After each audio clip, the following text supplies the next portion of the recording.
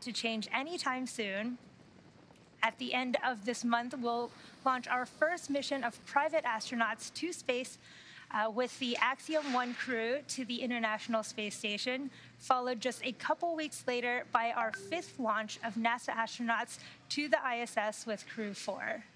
A big thanks to the entire SpaceX team for working hard every day to create a future we can all get excited about. The latest weather forecast from Space Launch Delta 45 shows that we are 80% favorable for liftoff today. The vehicle, satellites, and range are all looking good for an on-time liftoff just a few minutes from now at 8:45 a.m. Eastern Time.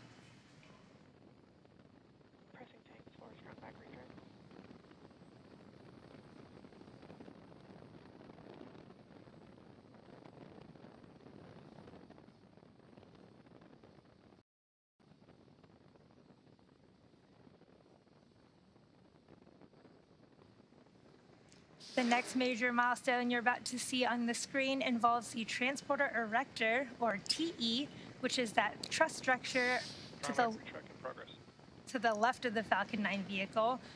Heard the call out that the strong back retraction process has begun.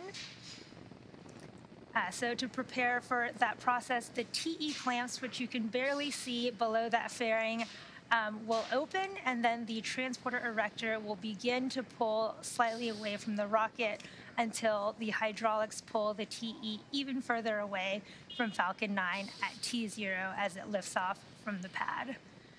You can see on your screen there, the clamp arms are opening right now.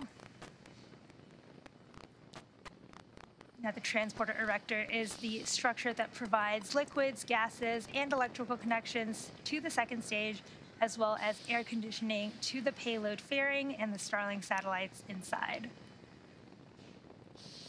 At this point, both the first and second stages are nearly fully loaded with 1 million pounds of kerosene fuel and liquid oxygen.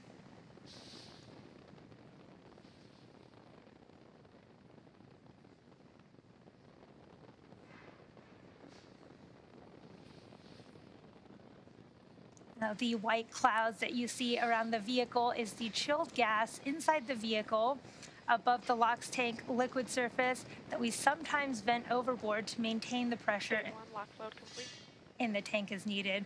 We just finished that stage one LOX load. Again, when that uh, gas comes out of the vehicle into the warmer Florida air, the humid air will condense into clouds made out of water, and that's similar to when you have a cold glass of water and condensation forms around it.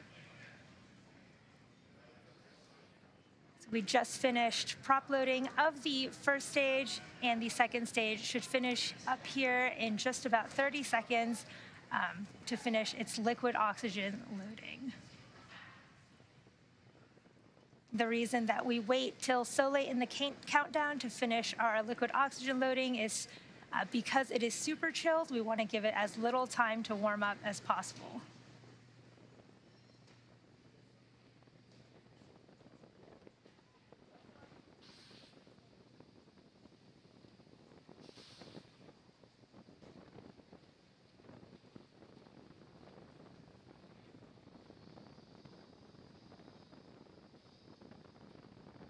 Second stage. Two, LOX load complete.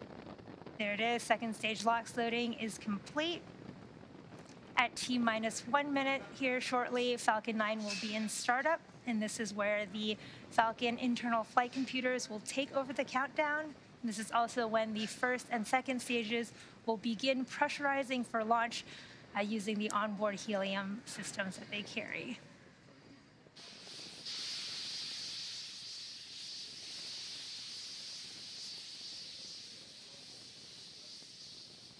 So again, that white cloud coming from the Falcon 9 is that uh, venting from the tank to maintain pressure.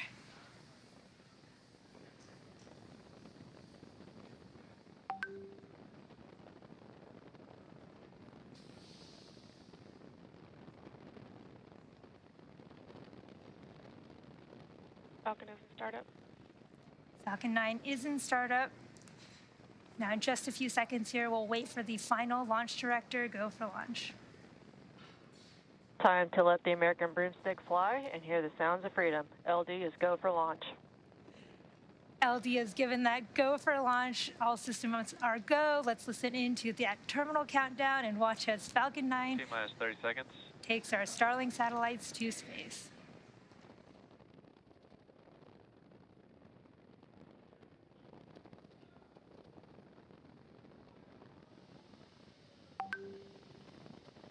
T minus 15. T minus 10, 9, 8, 7, 6, 5, 4, 3, 2, 1. Engine full power. And liftoff. Falcon 9, starting 410.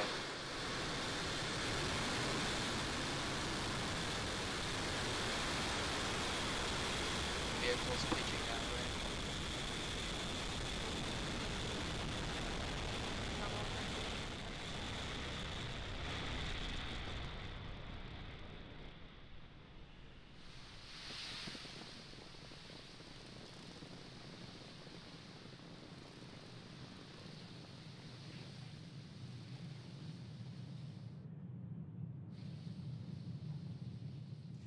Falcon 9 has successfully lifted off from Space Launch Complex 40 at Cape Canaveral Space Force Station, carrying our stack of 48 telemetry nominal. carrying our stack of 48 Starlink satellites to low Earth orbit. Moments ago, we throttled the 9M1D engines down, reducing the speed by decreasing the flow of supersonic. fuel to the engine. Now that's in preparation for max Q, which is the maximum aerodynamic pressure that the vehicle will see, coming up in just a few seconds. Max Q. There's max Q, and we will have three events happening here shortly. We will have main engine cutoff, stage separation, and second engine startup one. Now, main engine cutoff is where all nine of those M1D engines currently burning will shut off to sl- slow the vehicle down in preparation for the next event, stage separation. Now, this is where the first and second stages Start of MVAC chill. will separate. Now, the start of our second engine MVAC chill has started, as you just heard. Now, after stage separation, the first stage will make its way back down to Earth for landing, uh, whereas the second stage will continue on its journey to the third event of second engine startup one. That's where that single MVAC engine will light up and propel the second stage along with the Starlink satellites to orbit. the cool views of the first stage with that with the earth in the background. Just about 10 seconds from main engine cutoff.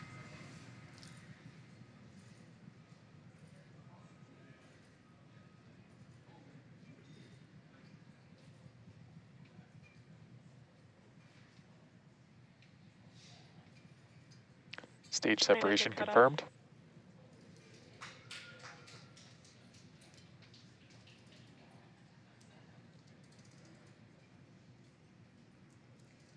You can see on those cool You can see on those cool live views of the first and second stage. Uh, you can see the fairing have just popped off there, um, but we did have a successful main engine cutoff, stage separation, Fairing separation confirmed. and second engine startup one. And as you saw, we had a successful fairing deployment. Again, SpaceX has reflown the Falcon fairing half since 2019, but again, the fairing halves flying on today's mission are brand new, and we will be attempting to recover them on uh, our recovery vessel, Doug, for a future mission.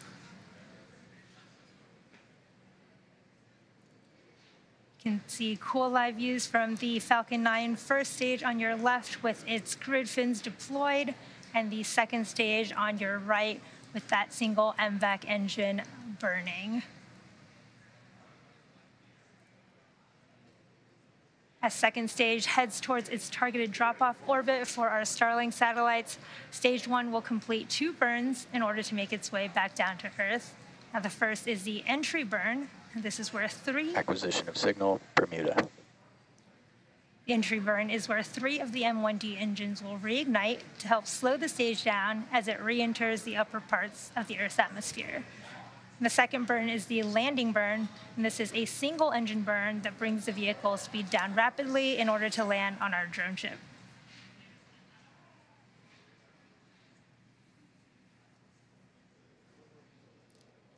If you're just joining us, we've had a successful liftoff of Falcon 9 from Cape Canaveral Space Force Stations, Slick 40, and right now you're looking at live views from the first and second stages, with the first stage currently making its way back to our drone ship a shortfall of Gravitas stage currently in the Atlantic Ocean, and the second stage carrying our stack of 48 Starlink satellites to their low Earth orbit. And this is our 10th mission of 2022. In fact, it's the 10th mission in 10 weeks and the seventh Starlink mission of 2022 so far. Vehicle on nominal trajectory.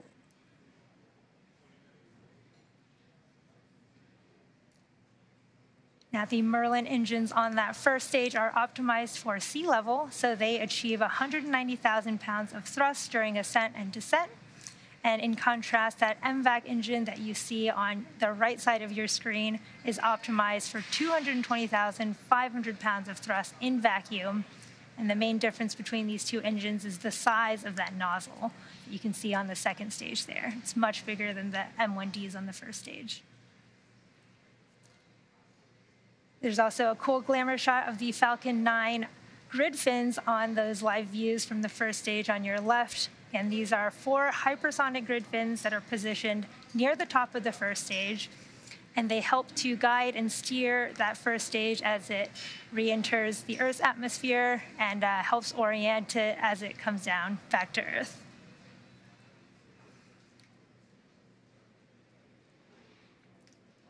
The Falcon 9 first stage is also equipped with four landing legs made out of carbon fiber aluminum honeycomb, and they're placed symmetrically around the base of the rocket. So you'll want to watch out for their deployment just prior to landing. We're coming up on our entry burn here shortly in just about 20 seconds here. And again, this is a three engine burn meant to slow that first stage down as it hits the thicker layers of the Earth's atmosphere the burn will last about 20 seconds or so.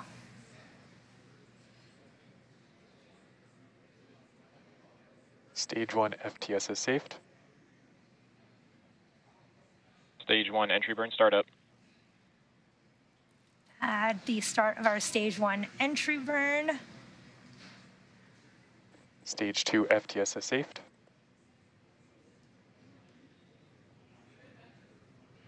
Vehicle on nominal trajectory.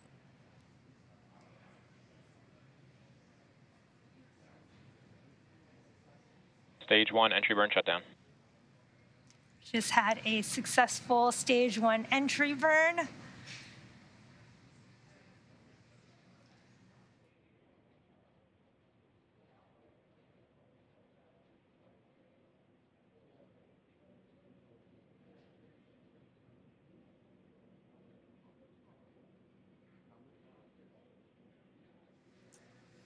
We're just under a minute to the stage one landing burn. That should start at about T plus eight minutes and 25 seconds.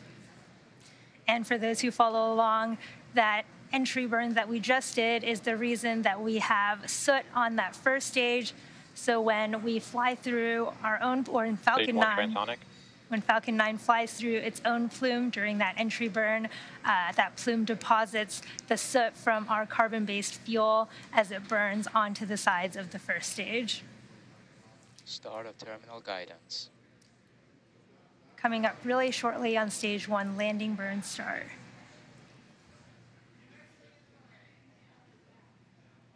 Stage 1 landing burn. We've started our stage one landing burn. We may or may not have videos for this.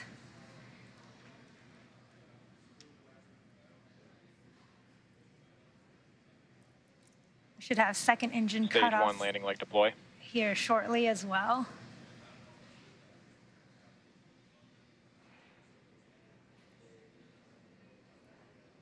And back engine cut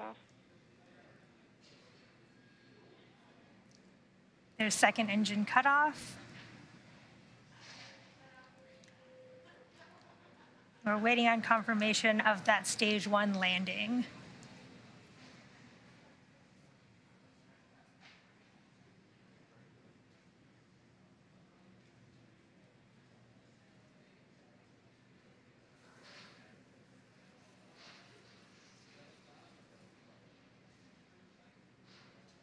Nominal orbital insertion. Did just get confirmation of a good orbit from our second stage carrying our Starlink satellites. And we are now waiting for the deployment of our 48 Starlink satellites, which is scheduled to occur about a little under an hour from now.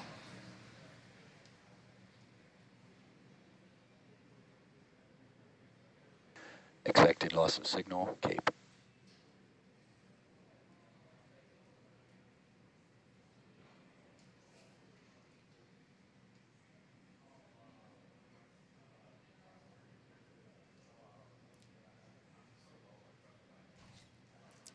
It looks like we did get confirmation from the teams that we did have a successful first stage landing, even though we haven't received any video or live views from that.